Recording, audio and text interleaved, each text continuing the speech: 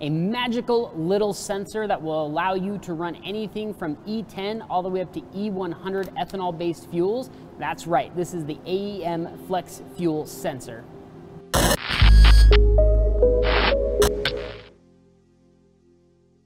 What's up guys, Rick with Rally Sport Direct here, and in front of me I have the AEM Electronics Flex Fuel Sensor Kit. Got the box right here, let's go ahead and bust this bad boy open. So this little sensor right here is essentially magic, and I'm gonna explain to you why. First off, I don't know how it does it, but this little sensor with just fuel flowing through it can detect exactly how much ethanol content is in the fuel flowing through it. Now the best thing about this is this is an OEM sensor. This is made by Continental, uh, used in a wide variety of cars, and we can thank like GM and the big OEs for uh, kind of uh, running with this flex fuel technology and allowing us, the aftermarket, to benefit from it. But how this works is these are of course about dash six lines on here.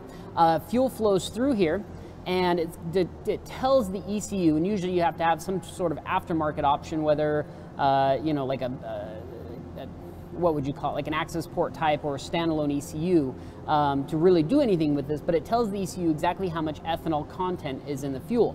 And the big reason for this, why this is huge, is because even though you might have access to E85, you could go to the pump one day and get E60, meaning 60% ethanol, and then the next day it could be all the way up to E90, meaning 90% ethanol you truly have no idea. So this basically protects your engine and allows you to get the most amount of power possible uh, from your tune while keeping everything safe. Because here's what happens. When you go get a tune with a flex fuel sensor like this, they can tune it on, you know, normal pump fuel, just, you know, let's say 93 octane, usually it's got about 10% ethanol in it, all the way up to E100 if you prefer.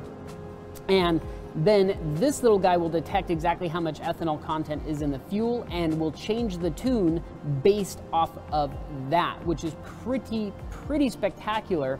And uh, utilizing the OEM ECU or an aftermarket ECU and this little sensor here, and basically allowing your tuner to give you the most amount of power uh, in the safest way. So that way, if you're tuned for E85 and you accidentally fill up with E50, for example, um, this would detect that and would protect the engine while still giving you the most amount of power based off the amount of fuel. So it allows you to run either pump fuel, E85, E100, whatever you want, whatever you want to throw in it, uh, it doesn't matter because this little sensor right here Mm, this little magical sensor will fix everything for you. Now, this is a universal kit, so it does come with some universal components. Of course, the Dash 6 AN lines, or excuse me, AN fittings, which is very cool. So whether you're running OEM type rubber fittings, um, or you do have a Dash 6 fuel setup, uh, you can run that there.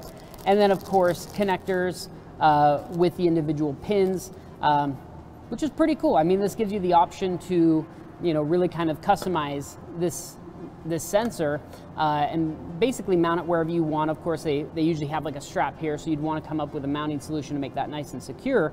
Uh, being a universal kit, it's uh, you know not going to be plug and play, of course, but uh, you know if you're the type that doesn't mind wiring in something or you can bring it to your shop and uh, have them do it. This should be a pretty easy solution for them. But this little guy right here will give you that magical ability to run whatever fuel you want, uh, you know, and it just figures it out. It's really cool. Check it out. That's all the time we've got for you today.